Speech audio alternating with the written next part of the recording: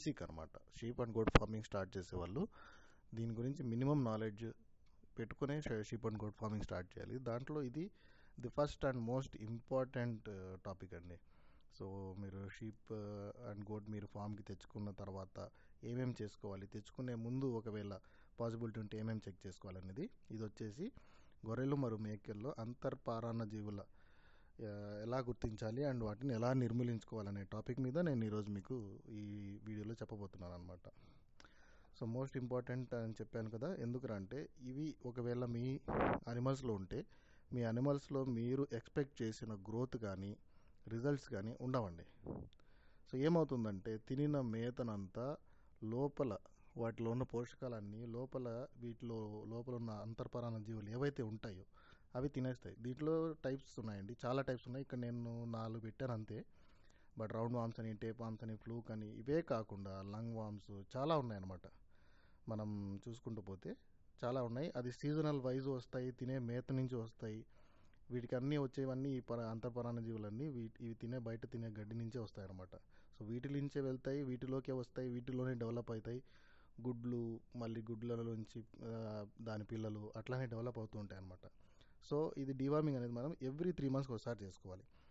మీరు డివార్మ్ అసలు అనిమల్స్ని ఎలా కనుక్కోవాలి? చూడండి అనిమల్ తింటుంది కానీ సార్ పెరగడం లేదు సరిగ్గా తినడం లేదు వీక్ అయిపోతున్నాయి అనిమల్స్ రోజు రోజుకి. మేము ఎంత కాన్సన్ట్రేట్ ఫీడ్ అంటే కాన్సన్ట్రేట్ ఫీడ్ పెట్టినా దానా పెట్టినా ఏమి చేసినా కానీ అనిమల్ అనేది వీక్ రోజు రోజుకి వీక్ అయిపోతుంది. పెట్టిన మేత అంతా ఎక్కడికి వెళ్తుందో అర్థం కావట్లేదు. అండ్ బొచ్చంతా పుల్లగా అయిపోయింది. అండ్ సరిగ్గా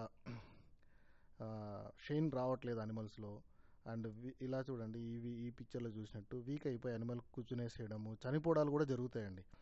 మీరు ప్రాపర్గా డివార్మింగ్ చేసుకోకపోతే ఖచ్చితంగా అనిమల్ ఈ వామ్స్ ఎక్కువైపోయి తిన్న మేతంతా వామ్స్ తినేసి అనిమల్ చనిపోవడం కూడా జరుగుతుందన్నమాట.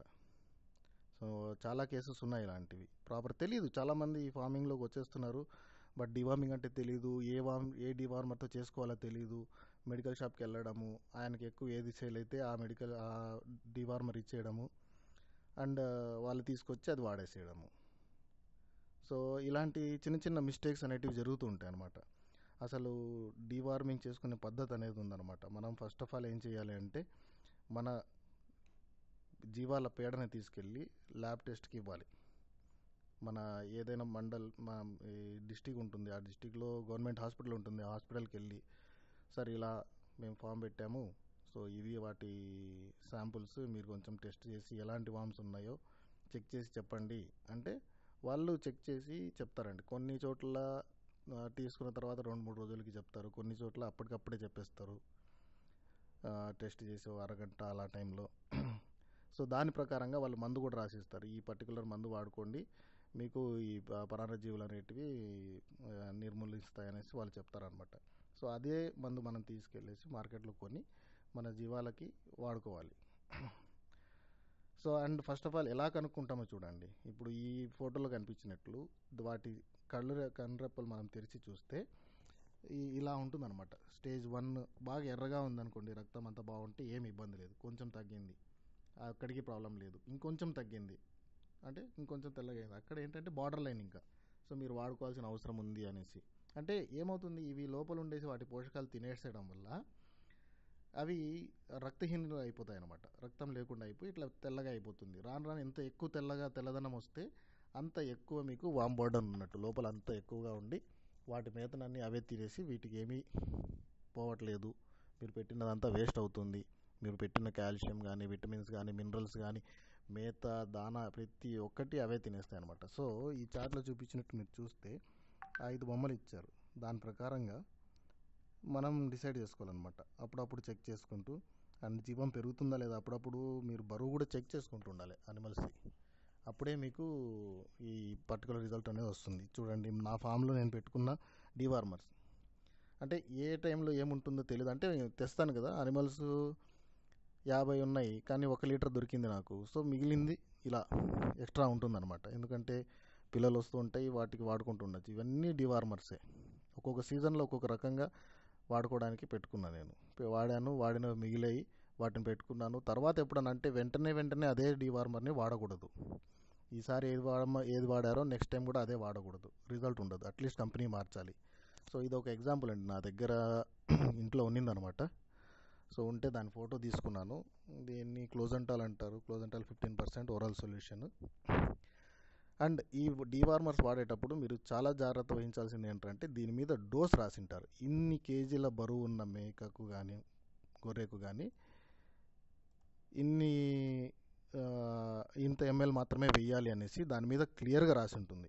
దీన్ని వెనక్కి తిప్పుతారు చూడండి. ఇక్కడ మీకు ఈ దీని మీద చెక్ చేస్తే one ML for ten KG body weight అని రాశాడు. అంటే ఒక్క ఎంఎల్ ఇది తాపి అంటే పది పది కేజీలు ఉన్న మేకకు కానీ గొర్రెకు కానీ వన్ ఎంఎల్ మాత్రమే తాపించాలి. సో అలా మీరు చెక్ చేసుకొని ఏ డివార్మర్ అయినా ఇది కొంచెం పవర్ఫుల్ అనమాట అందుకని ఇది చాలా తక్కువ డోస్ ఉంటుంది. వేరే డివార్మర్స్ చూస్తే మీరు కొంచెం ఎక్కువ డోస్ ఉంటుంది అనమాట అది. అంటే ఒక ముప్పై కేజీలు ఉన్న మేకకు కూడా పది ఎంఎల్ వేయాల్సిన పరిస్థితి ఉంటుంది. దీనికి అలా కాదు. ఇది పవర్ఫుల్ కాబట్టి దీనికి పది కేజీలు ఉన్న ముప్పై కేజీలు ఉన్న మేకకి మూడు ఎంఎల్ మాత్రమే వేయాల్సి ఉంటుంది అనమాట ఇది. సో ఇలాంటివన్నీ మనం చెక్ చేసుకోవాలండి వేసే ముందు. సో ఇంకొక డివార్మర్ కూడా నా దగ్గర ఉంటే దాని ఫోటో తీశాను.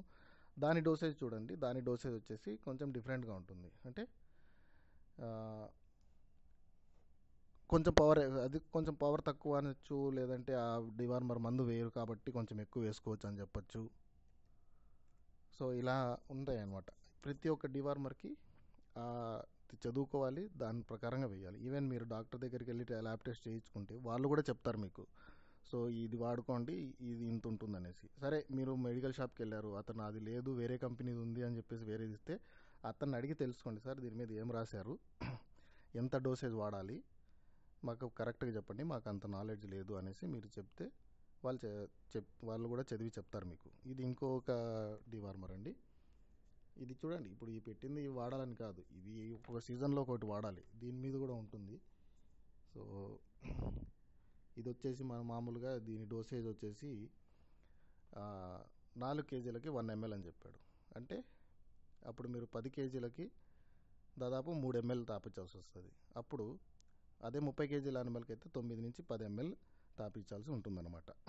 ఈ ఈ డివార్మర్ సో ఇట్లా ప్రతి ఒక్క డివార్మర్కి డిఫరెంట్ డిఫరెంట్ ఉంటుంది.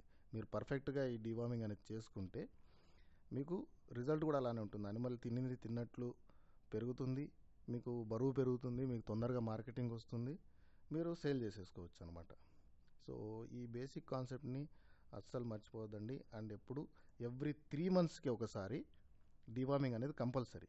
రెండు మీరు డివార్మింగ్ వేశారు నోట్ చేసుకోండి ఏ మంది వేశారు ఆ బాటిల్ ఎత్తి పెట్టుకోండి లేదంటే రాసి పెట్టుకోండి అండ్ నెక్స్ట్ టైం వేసేటప్పుడు మీరు ల్యాబ్ టెస్ట్ చేయించి వేసుకోండి. ల్యాబ్ టెస్ట్ చేయించి వేసుకోవడమే ఉత్తమం.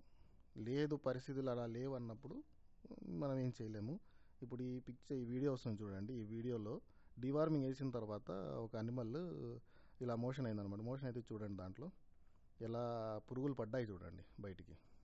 అంటే ఇది కూర్చునింది వేరే అనిమల్ అది పోసింది వేరే అనిమల్ దాని దగ్గర ఉందన్నమాట అది. అంతేగాని వేరే వేరే అని కాదు. సో ఇలా వేరియేషన్ ఉంటుంది.